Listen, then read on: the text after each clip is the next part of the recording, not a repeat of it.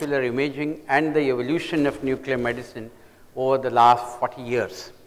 In fact, I have seen the nuclear medicine growing from the 1977 onwards. And if we look at the scenario of imaging that we heard, and Professor Rosenberg's talk gave me a lot of insights into what exactly we in the molecular imaging can go ahead in the years to come to answer some of the unanswered questions. Nuclear medicine has two types of scans, the gamma scans and the PET scan. 70s up to the arrival of the CT scan, nuclear imaging and the X-rays form the core of orthopedic practice. It's only after the advent of the CT, the role of nuclear medicine in orthopedics has regressed to some extent. We had conventionally the phosphate bone scans, which were the hallmark of a orthopedic practice. And in the last 10 years, the PET CT scans, which is looking at the biological molecules in a human cell, that has come into the front. 2002 was a revolution in clinical medicine because the fusion imaging came into being in 2002 and that has changed the scenario of diagnosis and thought processes as far as the disease is concerned. The bone scan, all you are aware that it just tells us the tumor and we try to stage for the metastasis. One of the best role of this was uh, grading the tumor. But this scan was highly sensitive, least specific. However, since there was no other modality, this continued for a long period. We also used in musculoskeletal disorder an interesting technique evolution, what we call as the three-phase bone scan, where the tumor blood flow is imaged in the first one minute, then the blood pool image will tell about the tumor and the surrounding soft tissue, and finally the delayed static image will tell us the metastatic component from this particular tumor. Now here if you see the central area of the tumor is necrotic, and the peripheral there is vascularity, whereas in the, there is no metastasis on a bone scan. Now this image would tell us what is the impact of this tumor on the adjoining tissue as far as the vascularity is concerned because that would have an impact on the surgical management. So this technology continued till the CT scan came. In fact, in 1990 when I was at Memorial Sloan Kettering, we were using this scan even for chemotherapy response assessment. Disappearance of vascularity would say that the tumor has responded. We moved on because the, unless there is anatomy, the surgeon would not be able to look at those hot spots. So we got this fusion imaging coming in the first part of this 2000. And what you see, the CT fused with the bone scan and you can see the uptake of the tumor in the soft tissue and also the component of the bone involved after fusion. This is called as a SPECT CT bone scan. So the fusion of CT to the tomographic bone scan enhanced the specificity by another 50 to 20 percent. But the MR and CT resolution is unmatchable.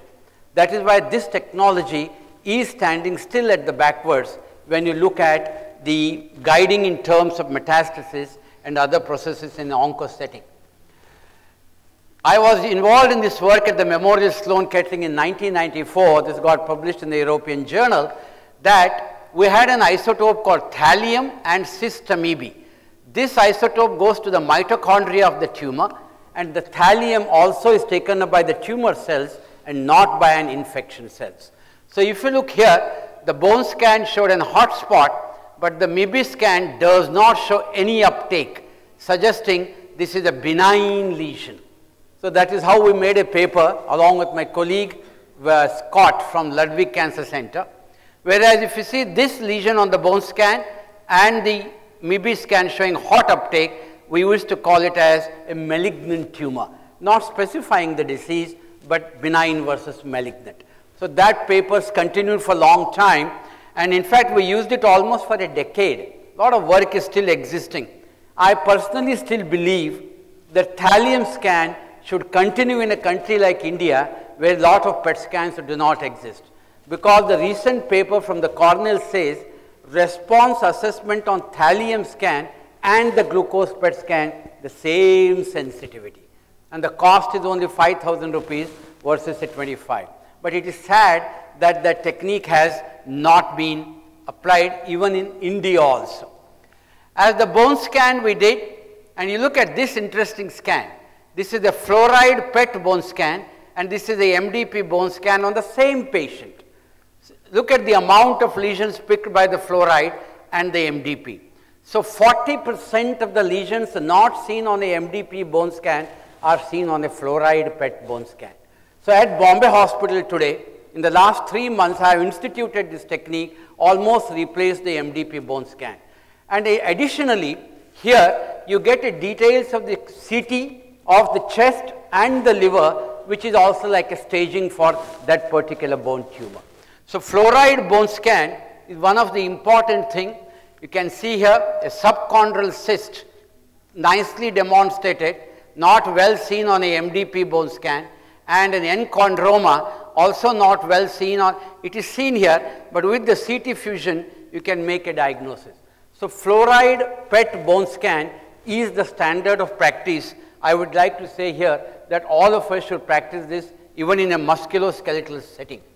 This is an interesting scan you can see one lesion in the MDP bone scan but multiple metastatic lesions in the fluoride in a malignant histiocytoma. So the fluoride PET bone scan to me is now the in thing. Moving on to molecular imaging, we, we call them as molecular imaging because we are using here the molecules in the human cell with respect to the disease evolution and the disease processes like glucose, fatty acids, amino acids. They are all labeled with different isotopes. With respect to the musculoskeletal, this has formed the core of the diagnostic technique. This is now in the offing and this is also already in the practice. Conceptually speaking, for my young colleagues, normally glucose is taken by the biological cell, undergoes a glucose phosphate, then energy liberation through a glycolysis process. But when you radio label a glucose, it localizes in the cell but does not undergo glycolysis, remains trapped in the human cells and that is why we call it as a glucose PET scan. What you see here is the biochemistry of glucose in the entire human body myocardium and it is excreted through the kidney into the bladder, that is the bone marrow and that is the liver. Glucose is a normal in biological cell up to 1 to 2 times the glucose is taken up when you inject. But a malignant tumor takes glucose 6 to 8 times more than a normal biological cell and hence comes as an abnormal area on a PET scan.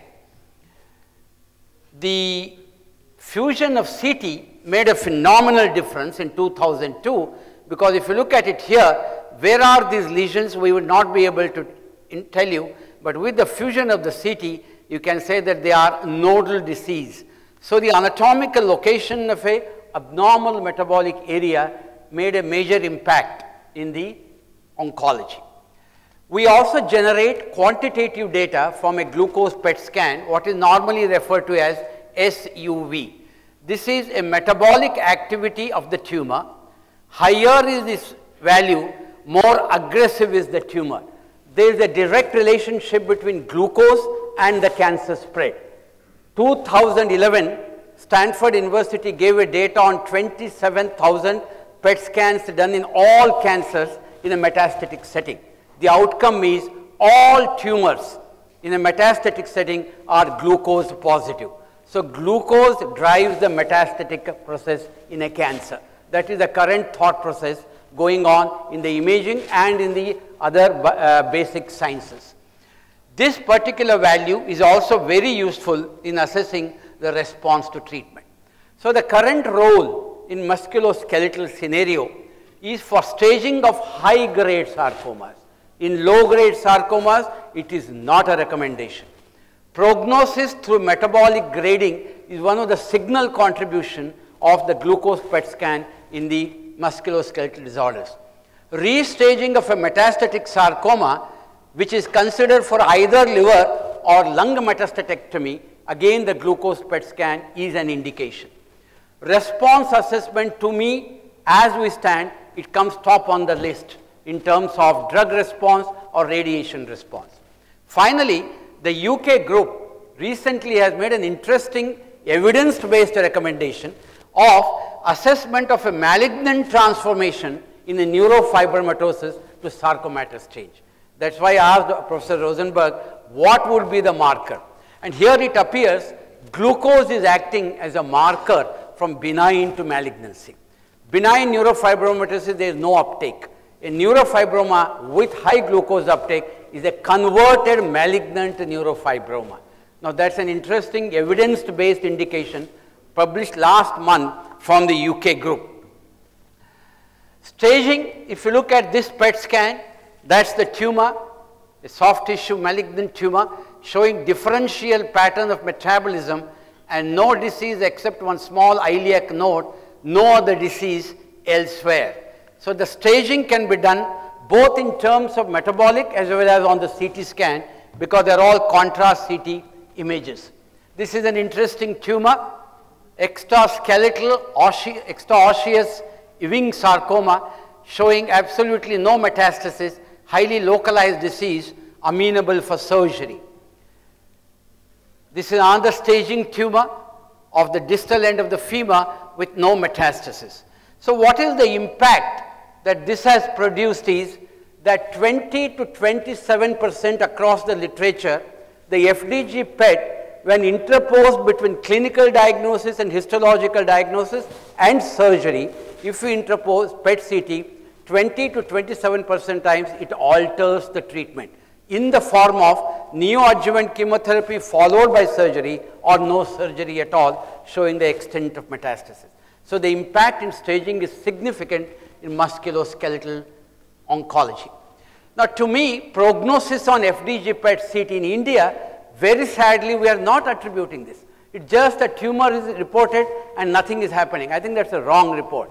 If you look at the reports that are coming from Europe and the West, in every PET CT report, I must tell what could be the probable prognosis of this tumor. The glucose uptake in the primary tumor has a prognostic value. That is the most important point. And if you see here, this tumor, which has a high glucose uptake, 16.5, such tumors, even after resection, will have a high incidence of recurrence rate and poorer survival. The data is already accumulated in 14 multi-center studies that are already published. As report to that, if you look at this tumor, there is hardly any uptake here, but there is a very heterogeneous uptake with a low glycolytic rate. Such tumors have a high good prognosis with good survival. Soft tissue sarcoma on a FDG PET high grade and intermediate grade 92 percent sensitivity and 93 percent specificity across all literature that is published as of now. Low grade lesion sarcoma PET is not recommended because there is hardly any uptake in those tumors. The benign soft tissue lesions like leiomyoma, fibroma do not show uptake. So, when some images were being shown, one of my thought processes if on a radiological setting it is looking like a benign lesion, if you do a PET and if it shows no glucose, it almost confirms a benignity for that lesion.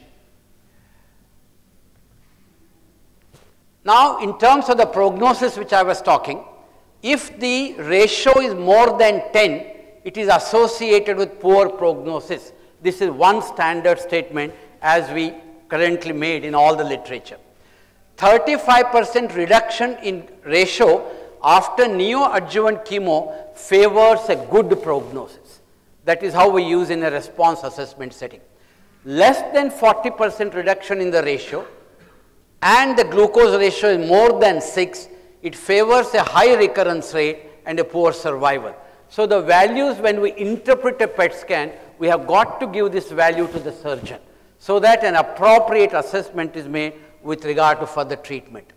And it is now the last paper which just came about few months ago says after two courses of chemotherapy, if we show a 35 percent reduction in the glycolytic rate, that tumor has an excellent outcome. This is the data which shows very nicely using a Kaplan-Meier analysis that all those tumors who had a high ratio, they had a very poorer survival compared to those tumors whose glycolytic rate was much, much less. And this is now well documented not only in musculoskeletal, but in lung cancer, in breast cancer, across all other cancers as well. Treatment response, that's the primary tumor pre-chemotherapy, and after four cycles of chemotherapy, phenomenal reduction in the glycolytic rate, suggesting an excellent response. At this time, neither the MR nor the CT would show any significant structural change. So the RECIST criteria, which even today continues to be the scale for the prognosis assessment, falls short of the metabolic scale in assessing the response rate. So I think PET CT will stand. And if you look at this interesting case, a large pelvic rhabdomyosarcoma, which we had recently with a high glycolytic tumor, after three courses of chemotherapy, look at the phenomenal response that the tumor has shown. And here surgery was postponed and continued with the chemotherapy to see whether there is a complete resi metabolic resolution of the disease. So the FDG PET impacts the decision making during response assessment. This is another patient, almost complete resolution. Hardly 10% of the disease left. Such patients would need full course of chemotherapy. Now coming to glucose PET scan has remained, it will remain in certain areas. I am moving on to newer trends that are coming in musculoskeletal radiology, uh, tumors. Thymidine PET scan, choline PET scan, and what is called as tyrosine PET scan. These are evolving. At Bombay Hospital, I have started the first PET scan. Why I had started doing this is, glucose PET scan is highly sensitive, but not necessarily tumor specific. It is not a specific tracer. We need to know is the tumor proliferating rapidly or not. That is a critical issue. So, thymidine is a proliferative marker on a PET scan, what I call as in vivo histology. That is the future that we are uh, now getting. I have just show you a few scans here. This is a patient who had a primary lesion here and pulmonary metastasis. The Thymidine PET scan, hardly any uptake you see here, but look at the glucose PET scan, very high uptake. At histology, the primary tumor Ki index was less than 2 percent, hardly any proliferation, whereas the metastatic cells were 10 percent Ki, but the glucose PET scan was showing very high uptake. Why this discordance? Because in glucose PET scan, not only the tumor, so with this little insight into the metabolic image, I want to conclude my talk showing an interesting moving story which I came across. This dog, bear and boomer, this bear dog while playing had a fracture and when x-rayed had a tumor. So the vet told the owner he has a cancer. But the vet said, what cancer? So he said a bone cancer. What happens? He said he can treat and all that. He, believe me, he went ahead and treated and the tumor shrunk. In six months, the pulmonary mets came. He did not give up. He went ahead and gave the chemotherapy. At the end of five years, this dog is phenomenally playing. The story what that comes out is, this is not a tumor to give up. If you study the biology, everything clear, and institute the therapy at appropriate level, we can win over even this sort of a disease process. On that note, thank you very much for patient hearing.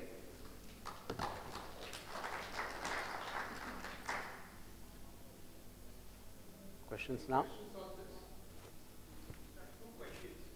Various other factors. Today the software takes all the variables which were a problem all these years into consideration while calculating the SUV. So that issue has been addressed now. Secondly, I believed very strongly that the decade of the molecule the sorry molecular century was glucose, FDG. But now I believe probably we have to personalize each patient's. Thymidine probably may, may come as a good surrogate marker depending upon the type of the tumor. At histology level, if they say Ki index is 70 percent, you will go for a thymidine PET scan because a highly proliferating tumor. If you send low Ki, probably you'd st stick to glucose. And in the years to come, we are going to see some other molecules like angiogenesis molecules and apoptosis molecules. All these are going to act as different surrogate markers with respect to that disease both at the diagnostic level and at the response assessment level. And I, I believe Professor Rosenberg's thought, it's a fascinating decade that we are looking from now on. Yes.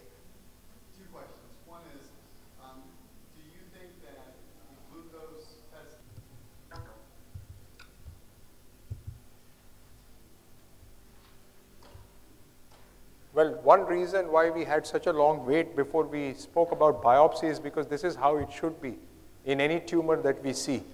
We must look at all the imaging, get all the information that we can get prior to doing anything invasive and before uh, planning the biopsy. And that's the reason why biopsy is always done later. But we also know that it is important to do the biopsy and not jump into surgery without having a histological confirmation of what we are doing unless there are certain exceptional situations which we will talk about where biopsy is not necessary. But most of the time, we have to have a histopathological diagnosis irrespective of how typical the radiology is and how confident we are of the diagnosis. The other misconception is that biopsy is an easy minor procedure. And I think today's world, I would say that biopsy is a very high risk procedure. It's not high risk for the surgeon who's doing it, it's high risk for the patient. It is because there are so many mistakes made in doing a biopsy that it becomes a problem for limb saving surgery when, when, when they go on to the centers. Now, a very interesting study came from Dr. Mankin. He did this study twice. First, he did this study in 1982. They submitted questionnaires to all the members of the Musculoskeletal Tumor Society to find out what they would biopsy, their biopsy habits, etc. And they found that there was a 4.5% rate of an unnecessary amputation, which means an amputation which was caused only because of a badly done or a wrongly done biopsy. So then what they decided to do is to educate all the surgeons and to see if that made a difference after giving everybody the information about the biopsy. They did a survey once again in 1996 and very surprisingly it made no change. And this is exactly what we see everywhere in the world is that most surgeons just listen to what should be done for a biopsy but don't apply it in their practice. Therefore, the only message of this particular talk is going to be is that if you are going to do the biopsy, please do it very carefully. Now, I'm going to show you some examples to tell you what happens when the biopsy is done wrongly.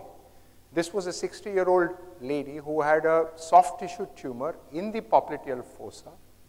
This was an intermediate grade malignant tumor, but the surgeon did an open biopsy with a transverse scar and then contaminated the neurovascular bundle when he went down from the posterior approach. And uh, after, the, after we saw the repeat MR, we realized that the entire popliteal fossa has been dissected with contamination all around the neurovascular bundle. So there was no way we could have salvaged this situation. And this patient had an amputation only because the biopsy was done very badly. This is another patient who had a proximal tibia osteosarcoma. And you can see the huge open biopsy scar. And you can see that the drain site is on the opposite side. Again, this patient underwent an amputation only because of the extent of contamination which has been caused by the open biopsy, which was otherwise quite a salvageable disease. This is a young girl whose X-ray clearly showed this kind of a blastic lesion. You can see here, you can see some periosteal reaction which was missed by the surgeon who was seeing her. I don't know why he thought that this was a pigmented villonodular synovitis. When I spoke to him and I asked him, why did you do a biopsy from two sides? He said to get better amount of tissue from two sides. Now again, this patient would require an amputation just because uh, the biopsy has been done badly. It may be difficult now to give any good function because the amount of extent of contamination of the quadriceps and the knee joints. Therefore, more, very often after the biopsy, uh, many of us who do limb salvage surgery will, will be looking like this when we look at the biopsy scars. And I can tell you that these are not infrequent. Every week we get a badly done biopsy which we can photograph and keep showing. I mean, we can have a series of more than 1,000 cases where the biopsy has been done improperly. But if you, if you look at the cases where the biopsy has been done properly, that will be very small. This patient had three open biopsies and no surgeon wanted to use the tract done by the old one, so they have made three scars. This patient again, biopsy from a different side, drain at a different side. Big hatch marks in an open biopsy means more skin to be removed. Same, same problem, I mean badly done open biopsy. Open biopsy with lot of contamination, bruising and ecchymosis. Bad, again open biopsy and not just on one side, this was on two different sides. Scapular tumor biopsied from three different sides and none of them in the correct line of incision for the scapulectomy. Open biopsy resulting in infection. Open biopsy done from two different sites and in addition causing infection, therefore uh, making limb salvage surgery virtually impossible. The question again which I have to ask everybody is that are we justified in doing a biopsy in today's era when you have limb salvage rates of almost 90% and survival rates of 70%, should we do a procedure which is likely to compromise this chance of the patient? So the, the message again is going to be no open biopsy except by a team which is doing the final procedure because they would understand what is going to be their incision, they can excise that tract and they know that open biopsy is required very rarely. Most of the time you can do a needle biopsy and get a good diagnosis. What is the aim of biopsy? The aim of biopsy is to get a tissue diagnosis causing the least amount of trauma to the patient. We don't need to remove a huge chunk of tissue to get a diagnosis. We have good pathologists today, very competent pathologists today who can give you a diagnosis on a small amount of tissue.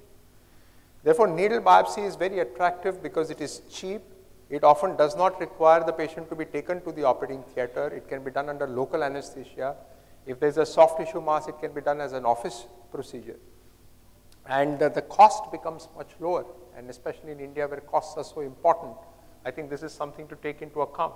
And you can always do an open biopsy in case the needle biopsy does not give us a diagnosis.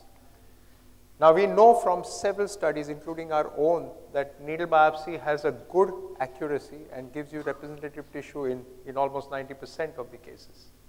Besides, you can see that this amount of skin which is resected is very small in a needle biopsy. In fact, as Dr. Shah Alam was pointing out today, probably we don't even need to resect a needle biopsy tract. I would be a little more worried about an open biopsy tract because we know the contamination is a lot more than what we have with needle biopsies. It does not mean that needle biopsies are safe. Needle biopsies can also result in a lot of contamination. You can see a lot of ecchymosis around this needle biopsy because pressure was not applied to stop the bleeding after the biopsy. Here you can see needle biopsies done from two different sides of the tumor again without anticipating that you may have to resect the biopsy tract. Now, as I started off in this talk, the biopsy therefore should be done with proper planning only after we have finished all the imaging. As surgeons, we have this thing that when we look at an x-ray, when we look at a lesion, we guess what the tumor is and we want an immediate answer. So we think, tend to do the biopsy immediately without doing the imaging so that we know what it is and we can tell the patient what it is. Now look at this example. Uh, this patient underwent a biopsy for a apparent soft tissue tumor on the dorsum of the foot. They did not do an MRI before and they missed that there is a big tumor. It is probably coming from the bone and there is a huge component on the plantar aspect as well. And therefore, we say that you must do the biopsy only after you have done the imaging so that you can plan the biopsy much better. Now, we have already discussed in what way a biopsy can alter the appearance of imaging. So, we would prefer to have the MRIs done or the scans done, including a PET CT also can show a lot of change once an open biopsy has been done. So, I think it is best Dr. Krishna will agree that what suppose an open biopsy has been done, would you be reliable in your SUV values?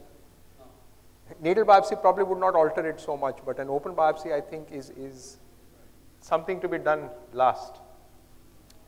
The other reason why, again when we discussed, we said we do uh, imaging first is to identify what would be the best site to do the biopsy.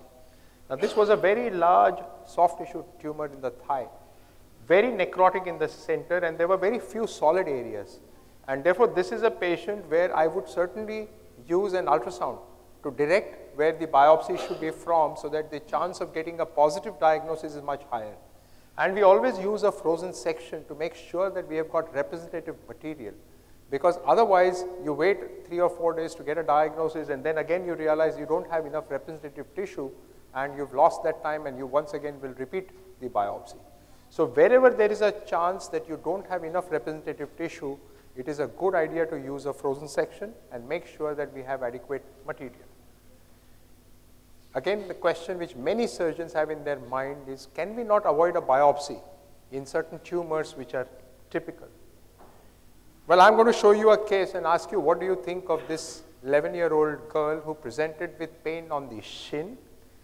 And uh, it, was a, it was a first episode of pain. It, it is very acute. And when the radiographs were done, this is what they showed.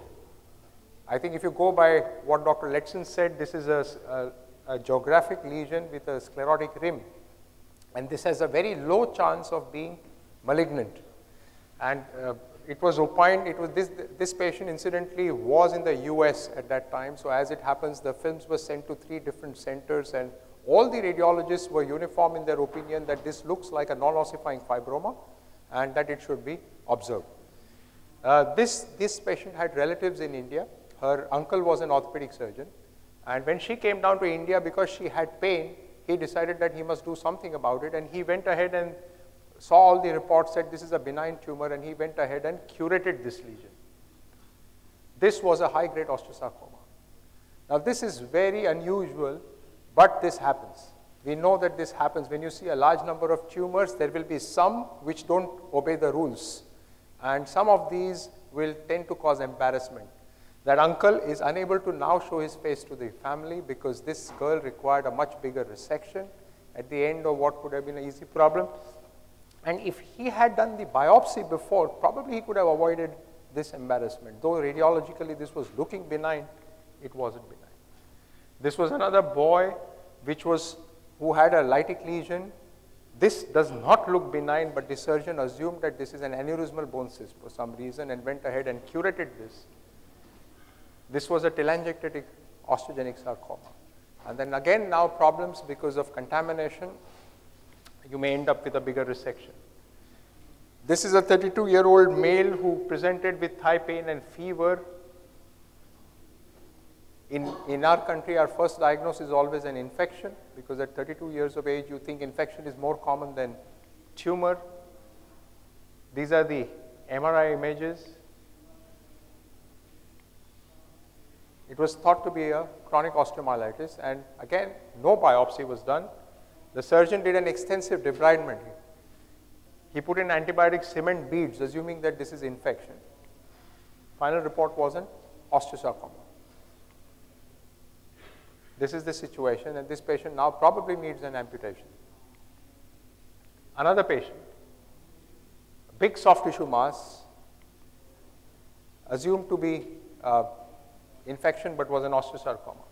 Another young boy, there was a periosteal reaction here, thought to be infection because of the acute onset of pain, debrided, this was an Ewing sarcoma. Yet another patient who had a painful swelling in the mid-thigh, a 10-year-old, big mass on the MRI. But look at what the radiologist reports. And I'm showing this with our radiologists here because there are many radiologists who don't see tumors regularly, but they have big opinions. And here he has reported, I do not see signs of osteogenic sarcoma. And this made the surgeon believe that this is infection, though there were obvious signs of this being a tumor, and he did not biopsy this, and he went and curetted this, and this was an osteogenic sarcoma. So how much can you rely on the radiology or even the radiology reports. I'll show you another tibial lesion. You can see an obvious lamellated periosteal reaction happening here. I had uh, spoken about biopsies in, in one of the meetings in Bombay and this surgeon had attended that and, and the moment he had this patient, he sent this patient over to me for a biopsy saying that you always said that even what looks like an infection should be biopsy, so I'm sending it to you for the biopsy. I looked at the images and I thought that this looks more likely to be an infection, but we did the biopsy because we have to follow the rules and this was a lymphoma. So uh, even after seeing many, many cases like this, I don't think we are quite certain when we see these tumors as to whether this is infection or biopsy. So the rule again is that you must biopsy. Anything is not considered as an infection unless it is proven conclusively that this is an infection. Now you can see in this image, these are three different lesions looking identical on the x-ray. Even I don't remember now which one is what, but one of them was a MET, one of them was tuberculosis, and one of them was chronic osteomyelitis. So the, again, we come down to that it is impossible on plain x-rays to be certain about what it is, and we must have a biopsy before we decide what we are going to treat.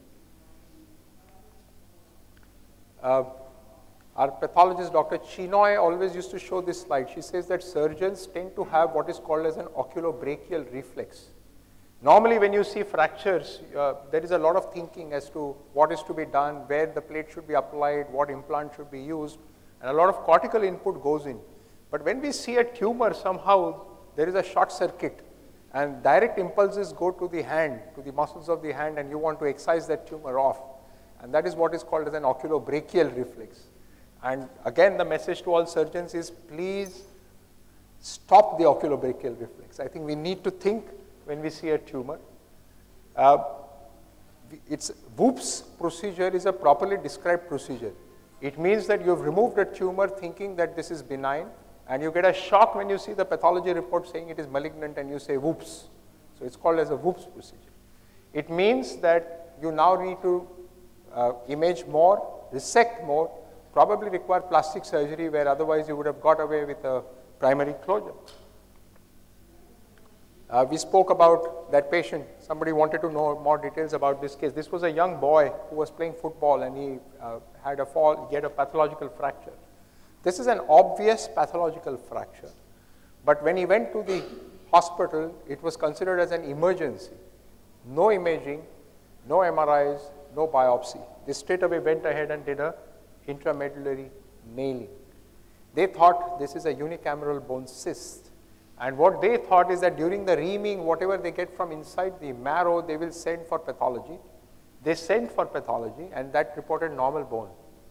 So uh, this patient was being followed up for three months. Uh, he seemed to be fine. Uh, the fracture seemed to be healing. And then he presented with a large thigh mass at about four or five months after his uh, surgery. And at that time, we got the MRI done, and as Aditya has shown that despite the nail, we could get good information out of that MRI. We did a biopsy, and this was a high-grade uh, sarcoma. This wasn't an osteosarcoma, but this was a high-grade pleomorphic sarcoma. So this patient was then put onto chemotherapy, and then uh, we had to do a total femur replacement. As somebody asked that time, why did we do a total femur? Is because the entire medullary canal has been contaminated through the tumor and you now need to, uh, for a wide excision, you would need to remove the entire bone. So we had to do a total femur. This is, this is not something isolated, this happens pretty frequently. This is another lytic lesion which was nailed saying that it requires prophylactic fixation. And this was a 40 year old lady and uh, no biopsy done, no biopsy taken, no imaging done. This was uh, done like this, left till the time the patient never got relief of pain. Then they did a biopsy and this was a chondrosarcoma, grade 2 chondrosarcoma. So again, a message that we should not be putting in nails or prophylactic fixations or even fixations for pathological fractures thinking it is an emergency. I think they require workup. They need, you can easily spend a few days in trying to get a accurate diagnosis. So again, coming back to the questions, do we need to biopsy all the tumors? And the general good rule is that anything which you are going to operate, is best biopsy, whether it is benign or malignant.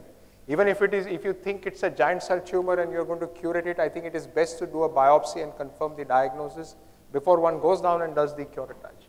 Anything which looks obviously malignant on X-rays, as again Dr. Letson has shown, what are the criteria where you start thinking that there is a high chance of this being a malignant tumor. When you see a periosteal reaction, when you see a lot of cortical destruction, I think these are certainly tumors that you would biopsy before you go in for surgery.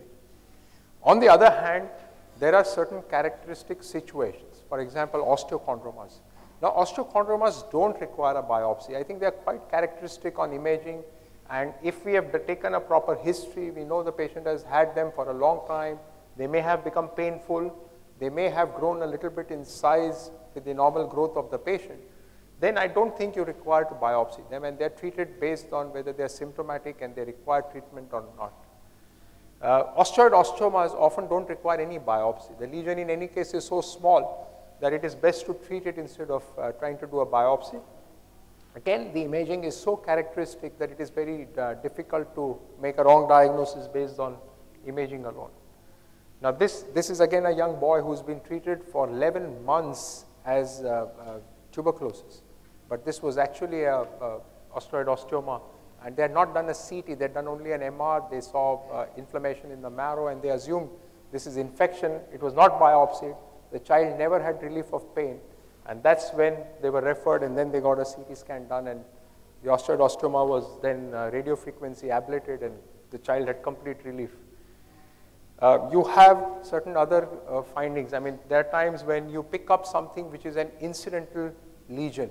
The patient is not symptomatic for that lesion, but the patient has had a fall, you've done imaging and you find that there is something there which has probably been there for a long time and these lesions can be observed.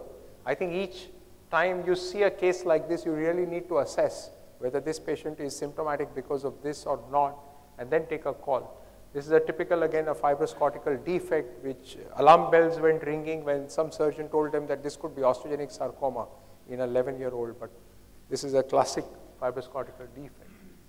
This is another 60-year-old man who had come with uh, sciatica-like pain, and the X-ray had shown this lesion.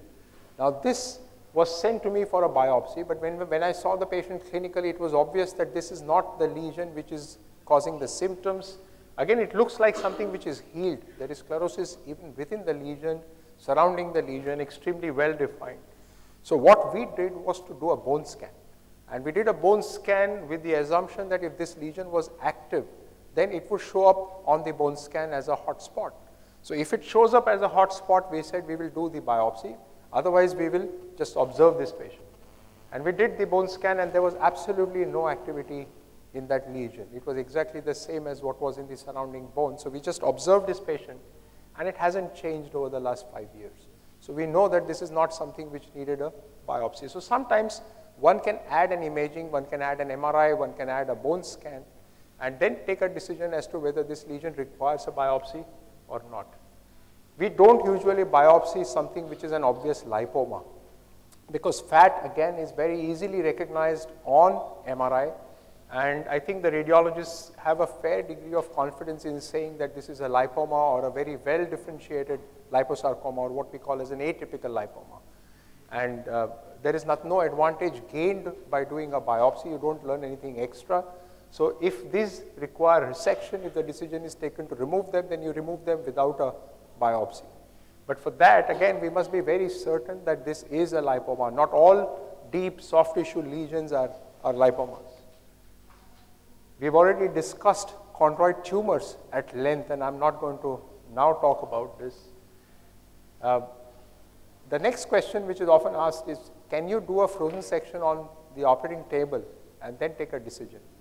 For example, suppose this is an obvious uh, benign lesion or a giant cell tumor, can you not do a frozen section and, and then take a decision to go ahead and curate this lesion instead of subjecting the patient to a biopsy? The answer is yes, one could do it, but uh, I, I, I, would want Dr. Rosenberg to confirm what I'm saying is true. Frozen section is not a reliable method of making a confident diagnosis in some of the cases. Maybe in some cases we can get an accurate diagnosis, but in some cases we could be wrong. And you don't want to base a final treatment based on something which could have a high error rate. I'm going to show you an example. This is what looks like a typical giant cell tumor in the distal radius. I mean, most lytic lesions like this in the distal radius would turn out to be giant cell tumors. But we fortunately biopsy everything, and this one was an osteogenic sarcoma. So uh, unusually, you could get tumors which are malignant. So if you follow the rules and you do, did a biopsy on every patient before operating, then I think we could avoid getting into trouble and you are better prepared to face this situation. Now, having decided that yes, we need to do a biopsy, the next question is how to do the biopsy. So we would generally say that you should do the needle biopsy. And before doing the needle biopsy, you should know which needle to use. You should know where are you going to do the biopsy from and then go ahead and do the procedure. These are uh, several soft tissue, Tru-Cut, spring loaded needles which are available in the market. These are disposable needles. They cost about 1800 rupees, so they're not very expensive and they're uh, very easy to use. Even bone tumors which have a soft tissue component, you can just use any of these needles, get a uh, sample and send it to the pathologist and if you have representative tissue on frozen section, you are quite sure that you will get a diagnosis at the end of it. Uh, if you have to biopsy the bone, then you have the Jamshidi needle and uh, this is nothing but, uh, it's, it's like a bone marrow biopsy needle which is very sharp and which can penetrate into the bone. Uh, again here if the lesion is completely intraosseous, then it may require drilling into the bone, especially if the lesion is in the cortical bone or inside in the diaphysis. But if it is in the metaphyseal bone, you can, with manual pressure, penetrate into the lesion. We always recommend that uh, we must use imaging to guide the biopsy wherever we are not certain of where the tumor is. So we use either a C-arm, ultrasound, CT scan, any one of the methods, and sometimes we use a PET CT scan to guide the biopsy. The general rule for biopsies is that it should be along the line of incision that one has chosen for the surgery and it should be the shortest route to the tumor violating minimum amount of tissue, preferably only a single compartment rather than multiple and as far away from the neurovascular bundle or any other important structure that we want to preserve in limb saving surgery. So that's how we mark, we would mark the incision.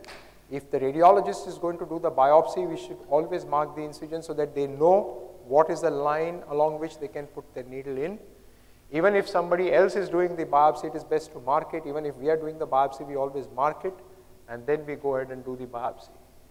The, the sites for biopsy in tumors are very different from the conventional incisions which are used in standard orthopedics. Uh, the knee, as you saw, is not a standard midline incision. Most of us prefer to go either medial or lateral because we want to save the rectus tendon.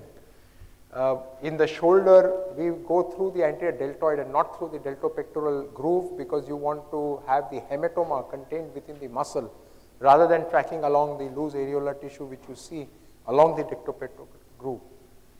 Again, in the scapula, this is going to be your oblique incision for the scapulectomy. For the tibia, it is going to be again anteromedial or anterolateral away from the patellar tendon. In the proximal femur, it is always lateral. It is always lateral because you can, it allows you to go both uh, anterior and posterior and still resect out the tumor. In the pelvis, this is the utilitarian incision that is used and because different tumors can be excised through different incisions, I think it is best to let the surgeon who's going to be doing the surgery decide where the biopsy is going to be from. Uh, whether we should biopsy from uh, the ossified part or the lytic part is again a question which is often asked and the clear rule is that uh, it is best to biopsy the tumor area which is lytic. Lytic areas are more cellular. The ossified or calcified areas are paucicellular and less likely to give you a diagnosis. Uh, uh, which area in the tumor to biopsy? Uh, preferably the periphery, preferably an area which is not necrotic or, or fluid, as I showed you in this case. Uh, even when one is doing a needle biopsy, it is a good idea to go in multiple directions from the same entry site so that you have a good tumor sampling from the different areas. Uh, we've already spoken about image guidance. The commonest cause of a negative needle biopsy is wrong targeting. Almost 80% of the negative biopsies are because it has not been targeted properly. So we must use imaging to target the biopsy. And this is a classic example. I showed you this was a lesion which probably never needed a biopsy. This was a girl who had a knee injury. An X-ray was done for the knee injury. They detected this lesion. They assumed that this is pathological, no further imaging done. They went ahead and did an open biopsy. And look at where they have done the open biopsy. They missed the lesion completely. So even in an open biopsy, they have not targeted the lesion. And this patient went on to get an infection. And she still has a draining sinus from a biopsy which was never required.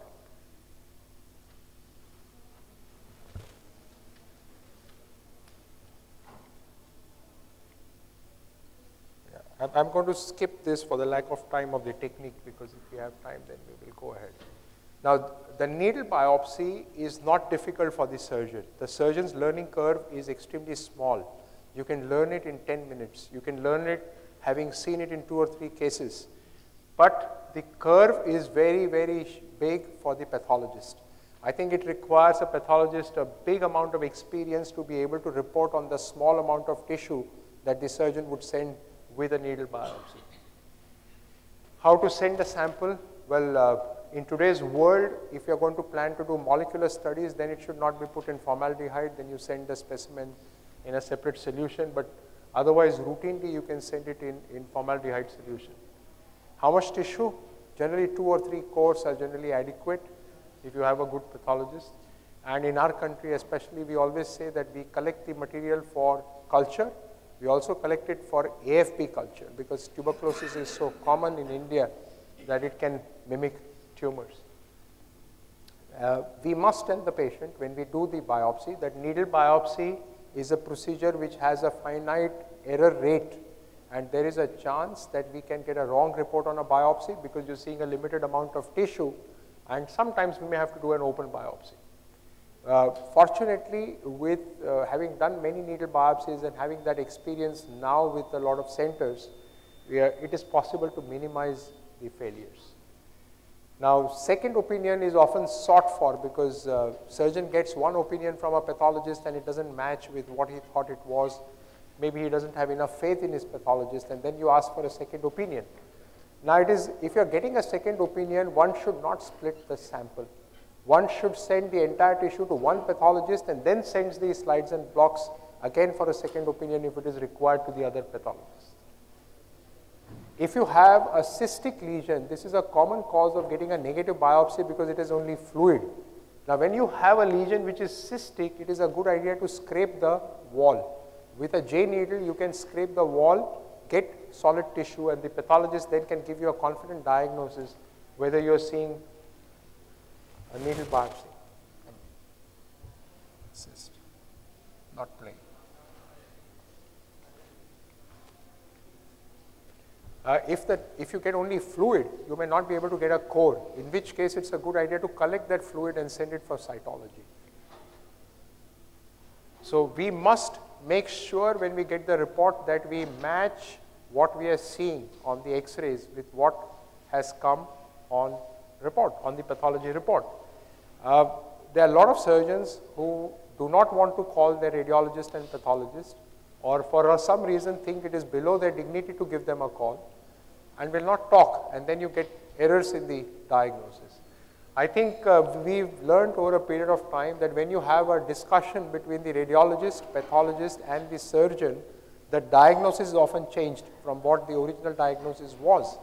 And it is very important to come to a correct diagnosis if we care for the patient. So it's very important to talk. Now this is a classic example where there was a tumor coming from the anterior superior iliac spine region. Uh, it was a bony tumor, but there was a big soft tissue mass. So we biopsied the soft tissue mass and the pathologist reported this as a low grade sarcoma. Now we knew when we looked at the radiology that this is not low grade, this is, this is a high grade sarcoma. And this is where again you need to meet together and say the needle biopsy may have sampled a low grade area. We know tumors are heterogeneous. And when we resected this tumor, it was a high grade sarcoma. So that confirmed that it was. So again, a joint meeting is important. We must correlate all the information. Sometimes you get dedifferentiated tumors and you would realize this only after the specimen is resected. This is a parosteal osteosarcoma which had this area of dedifferentiation. Today with PET CT scans, you can probably pick up the dedifferentiation early. Before the PET CT scans, an angiogram used to be done to identify any area with an increased vascularity and then do a biopsy from that area. But sometimes only after the whole pathology specimen is out that you can identify that there is an area of dedifferentiation. I mean, this is, this is slide which shows that. So how do we minimize failure? In short, the rules are that you use image, imaging to guide the biopsy.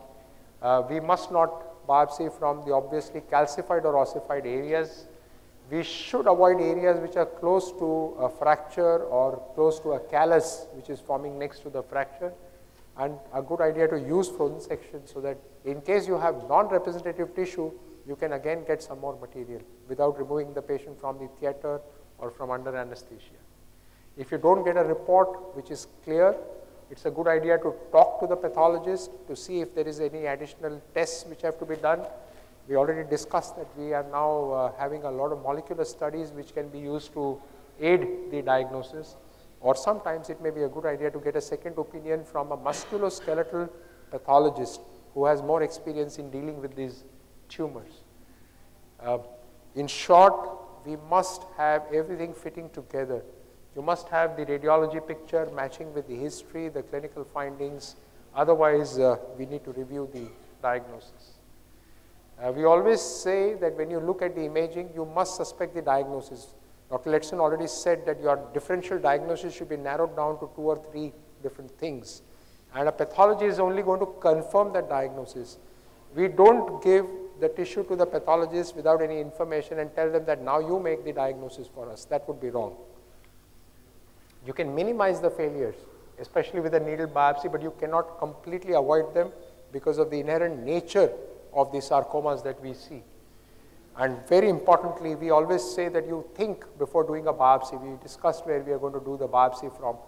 But Dr. Jambhekar has always taught me that read between the lines. If the pathologist has given a report which is more than one line, which is very descriptive, means they do not know the diagnosis. It means that you need to discuss with them what they are seeing. It is not fitting into a specific pattern. It is not a typical situation. So after reading the biopsy report, we need to think once again before assuming a certain diagnosis. Thank you. I just wanted to show this case. If can we just show that case back? The hip.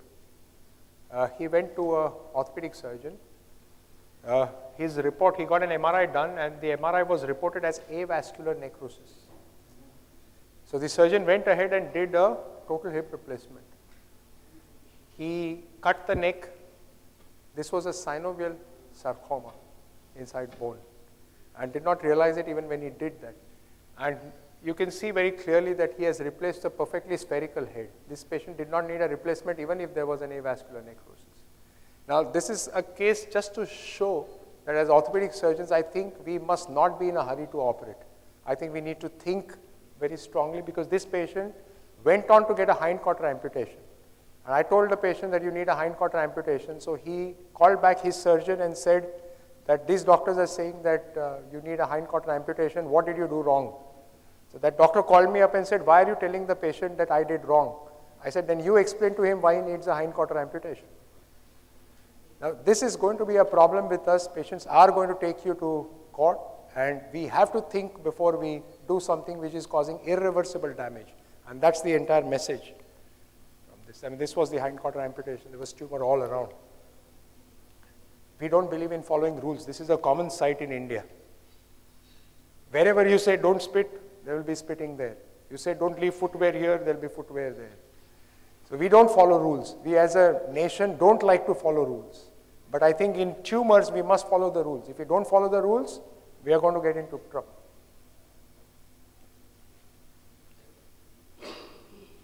We have Dr. Jambhekar now to talk about the problems which are faced by a pathologist.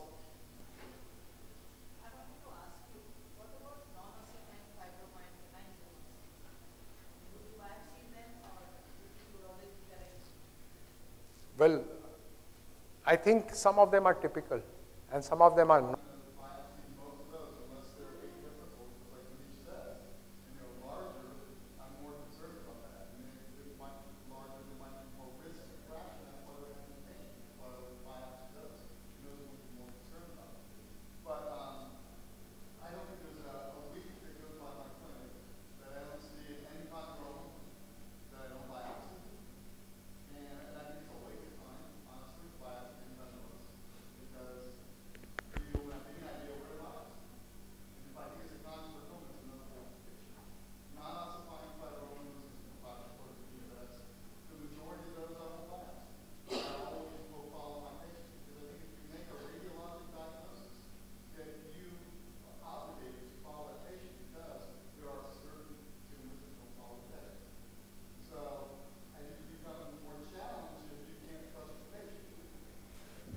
You biopsy, would you biopsy everything that you plan to operate, as I said? So, um,